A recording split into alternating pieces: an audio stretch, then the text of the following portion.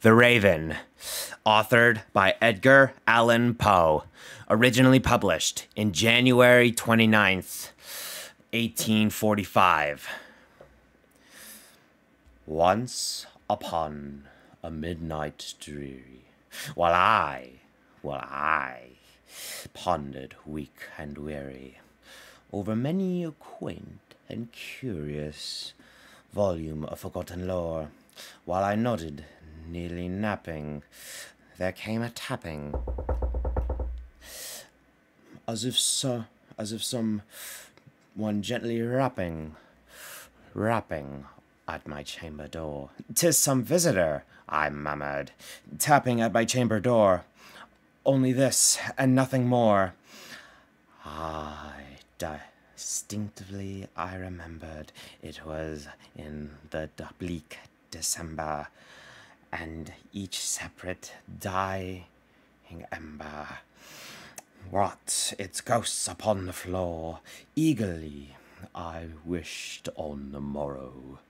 Vainly I had tired to borrow from the books surcease of sorrow, sorrow for the loss of Lenore, for the rare and radiant maiden whom the angels have named Lenore, nameless here for evermore. And the silken, sad, uncertain rustling of each purple curtain thrilled me, filled with fantastic terrors never felt before. So that, too, still breathing of my heart stood a repeating, "'Tis some visitor entering entrance at my chamber door." 'Tis some visitor or entering entrance at my chamber door. Some lay visitor entering entrance at my chamber door. This is this it is, and nothing more. Presently, my soul grew stronger, hesitating there no longer. Sir, said I, or madam, truly, truly your forgiveness I implore. But the fact is, I was napping, and so gently you came rapping, and so faintly you came a tapping, tapping at my chamber door, that I scarce was sure I heard you. I opened the door wide, the oh, wide the door. I here, here I opened wide the door. Darkness there, and nothing more. Deep into the darkness, peering long, I stood there, wondering, fearing, doubting dreams, and no mortal ever dared to dream before. But there, silence was broken, and the darkness gave no token, and only were, and the only word there spoken was the whispered word Lenore. Then I whispered and echoed, murmured back the word Lenore, merely this word and nothing more. Then into the chamber turning, all my soul within me burning, soon I heard again a tapping louder than ever before. Surely, I said, surely that is something at my win- window lane lattice. Let me see, then, what threat threat is, and this mystery explore. Let my heart be still a moment, and the mystery explore. 'Tis the wind, and nothing more opened. Uh, opened here, I flung sh- the shutters, when with many a flirt and flutter, then there stepped a stately raven of the saintly days of yore. Not the least opulence made he, and not an instant stopped or stayed he, but with men of lord and or lady perched upon my chamber door, perched upon a bust of Pallas just above my chamber door, preached and sat, and nothing more. Then this obedient, this ebony bird began smiling, bulging my sad fancy into smiling, but the grave and stern decorum and the discontents it wot. Oh, thy crest be shorn and shaven, thou, I said, art thou no craven, ghastly grim, and ancient raven, wandering from the nightly shore? Tell me what thy lordly name is on the night's Plutonian shore, quoth the raven. Eat my shorts. Sorry, Simpsons reference. Won't happen again.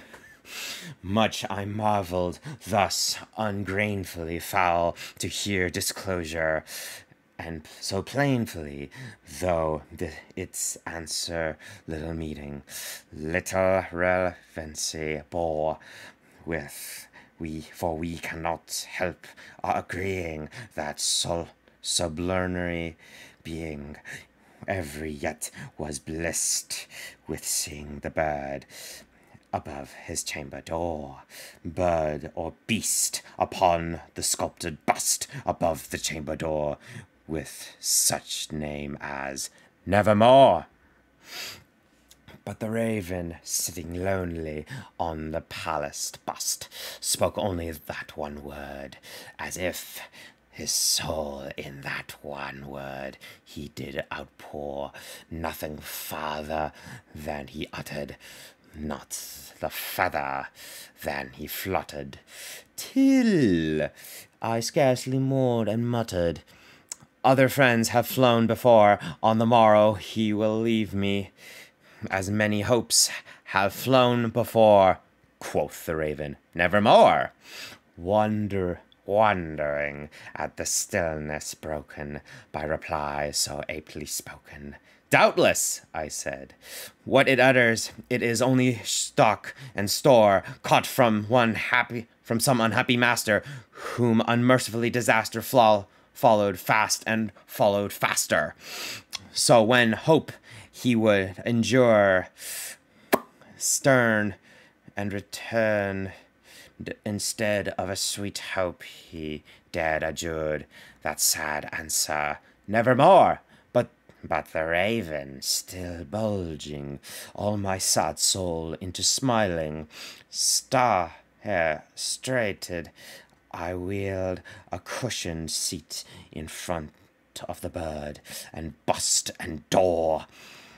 Then I velvet sinking, I betook myself to in, to linking fancy in unto fancy, thinking what this uh, omnis bird of yore, what this grim, ungainly, ghastly, gaunt, and ominous bird of yore meant the croaking nevermore.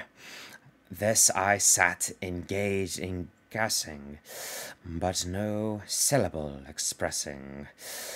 To the fowl whose fiery eyes now burrowed into my blossom's core, this and more I sat, divvying with my her, with my head at ease, reclining on the cushion's velvet lining, that the lamplight godling o'er, but whose velvet violet lining with the lamplight goldly o'ering. She passed the press, ah, nevermore. Then, methought the air, the air grew denser, perfumed, from an unseen censer swung by angels, whose faint footfalls tinkled on the on the tuft floor. Wretched, wretched! I cried. Thy God hatched lent me, hath let me, lent thee. Thy God hath let thee by these angels. He hath sent sent, sent thee respite, respite, and Nepieth, from the memory from thy memories of Lenore, let me quaff this kind of Nephthyon and forget this lost Lenore, quoth the raven. Nevermore. Oh, Prophet, I said, thing of e said I, thing of evil, prophet still, if bird or devil, Ra- whether temper tempt her sent, or whether temptest tossed thee here ashore, desolate, yet all undaunted on this desert land on this desert land enhanced on this home by awe by horror haunted tell me i implore is there is there is there balm in Gilead? Tell me, tell me, I implore. Quoth, quoth the raven, nevermore. Prophet, I said, thing of evil, prophet still.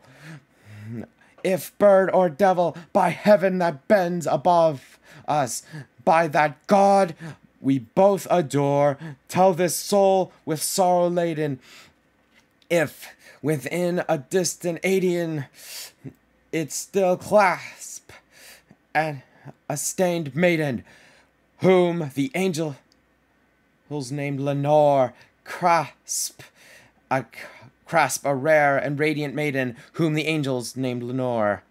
Quo, quoth the raven, nevermore. Do be that word our sign, parting bird or fiend. I shrieked, I shrieked, abstent, Get thee back into the tempest and the night's Plutonian shore. Leave no black plume as a token of that lie thy soul hath spoken. Leave my loneliness unbroken. Quit the bust above my door. Take thy beak from out my heart and take thy far form from off my door, quoth the raven. Nevermore and the raven never filting, sitting, still a sitting, still a sitting, on the pallid bust of Pallas, just above my chamber door, and his eyes all have all the seeming of a demon that is dreaming, and the lamplight o'er him streaming, streaming throws his shadow on the floor, and my soul out that shadow that lies floating on the floor shall be lifted nevermore.